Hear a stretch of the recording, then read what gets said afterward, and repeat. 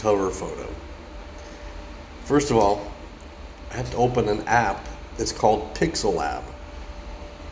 Pixel Lab is great for 3D creation and such a thing as this keychain. Okay? So, the first thing I want to do is put a background to this transparent background just so that I can have something to put my text against and see what it looks like. Okay, so I'll go to the right bottom hand corner, scroll to the right, and click on From Gallery. And I will choose from my albums a background.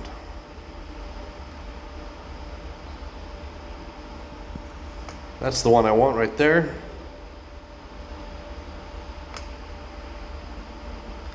Okay, now I want to choose text. And before I started this uh, video recording, I downloaded a font from www.font.com. I'm sorry, www.dafont.com. D A D A F O N T.com. Okay, and this font type is called Kinkel or Kinkles. So I'll edit and I'll write my name,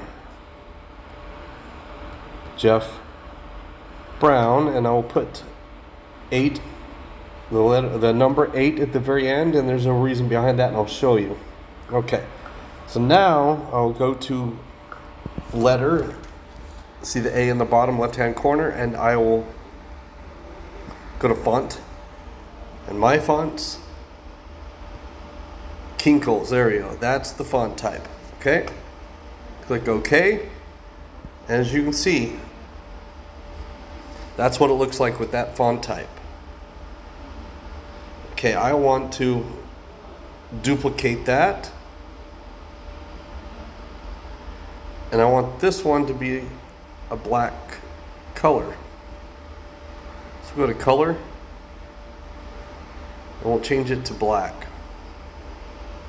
Okay, and this one, we want to give it a stroke. And we're going to change the stroke to white.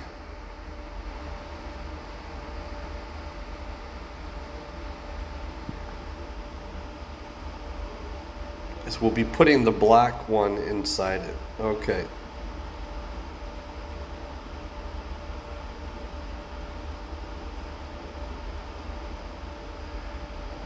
Okay so now I want those two to be merged together, those two text pieces. So I'll click on those two folders that overlap each other in the right hand corner. Click on lock.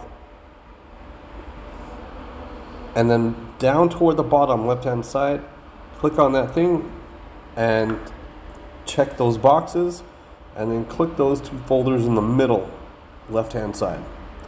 And it'll ask you, are you sure you want to merge the selected objects? You will say yes.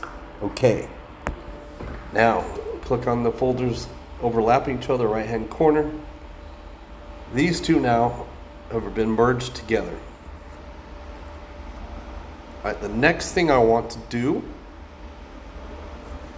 is I want to erase the color from the black turn on enable the color put set the tolerance to 2 and click on the injector piece.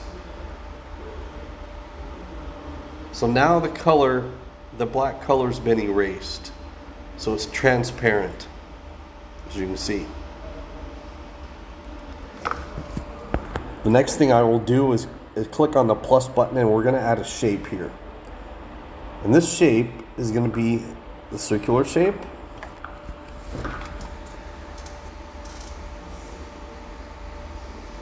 And we're going to add a stroke color of black for now. The stroke width at 25. And the opacity for the circle itself take it to zero so it disappears. We're going to move circle, decrease it in size.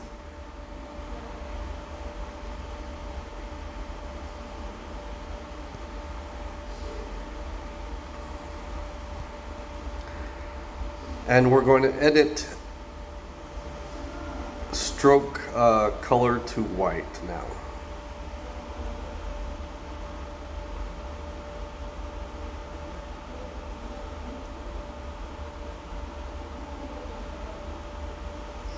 Okay, so that's where the keychain ring will be. Now we want to merge that together.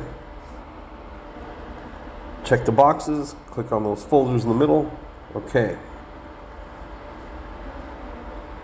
So now these are all merged together in one piece. The next thing that I want to do is change the texture.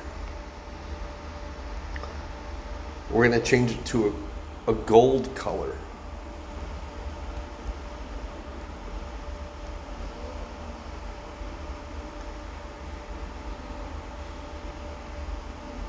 Okay. Now, what we will do is add another keychain piece.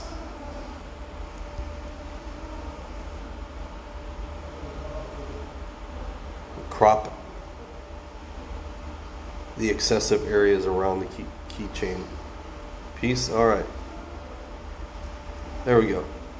We're going to have to decrease it in size.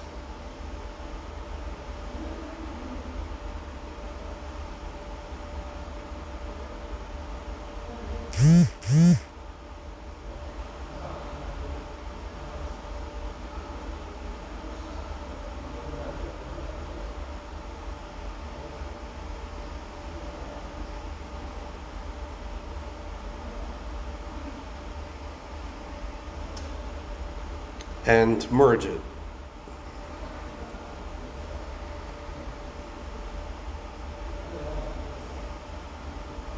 Now we can add a shadow.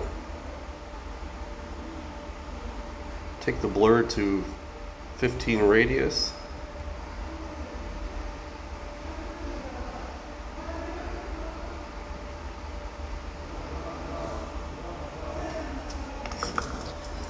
And now we have keychain piece.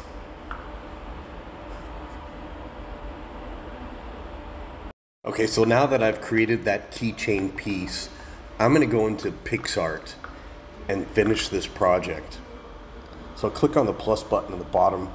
Okay, and now I'm gonna go into my albums and pick that background that I showed you I was going to use when I was creating the keychain in Pixellab, okay? Going to my wood album, textures, background, there we go. So this is the one I want, but I need to fit it to the right aspect, the right aspect ratio. And the aspect ratio I'm choosing is the YouTube one. Okay, there we go. Save it by clicking on the check button right hand corner. And now what I'll do is I'll kind of tweak with the saturation a little bit to bring out some color. And then on the effects, I'll click on FX and give it a vignette border at around 14.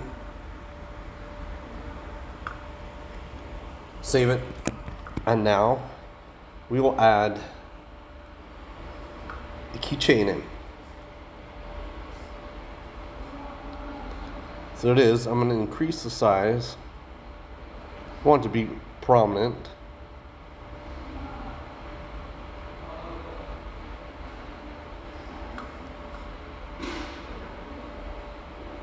Okay, and we're going to tweak the color a little bit to make it stand out.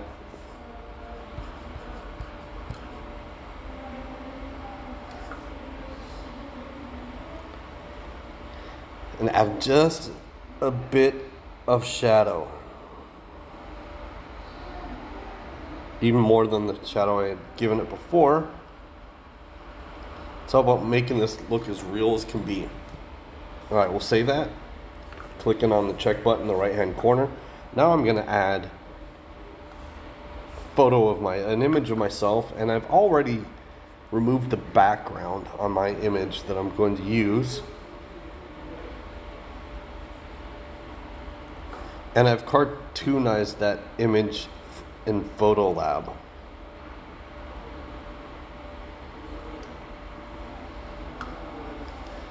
Add just a bit of shadow.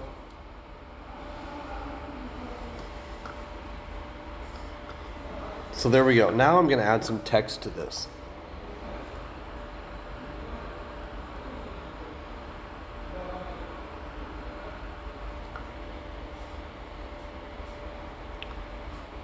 And stroke to make it stand out. Keep about an 80 stroke and get it to fit.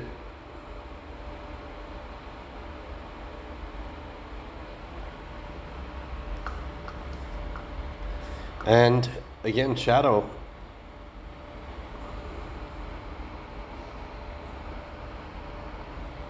And I tweak with the blur and the opacity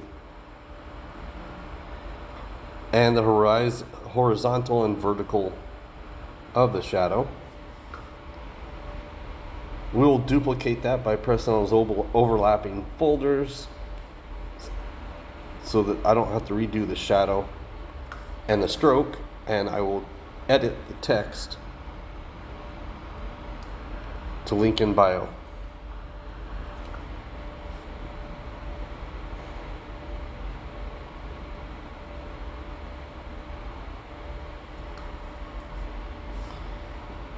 Now I'll put a lens flare.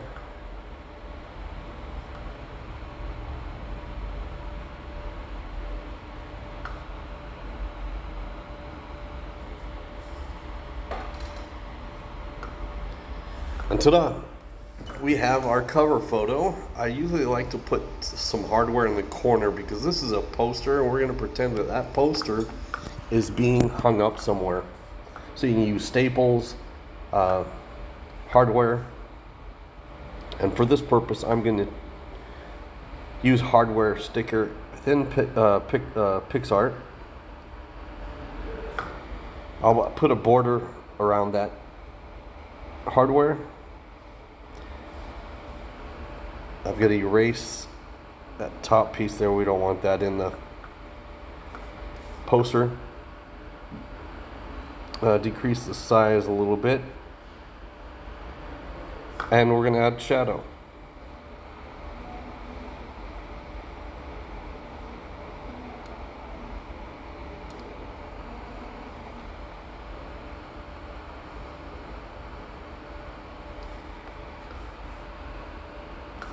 I'll tweak with that color in the effects with a simple and to the right and saturation or make it a little gold color. Right, oops, hard light. Duplicate that.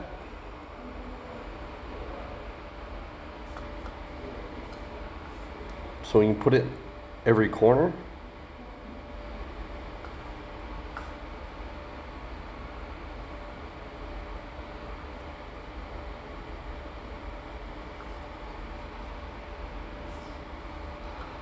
And at a border and we're basically done here.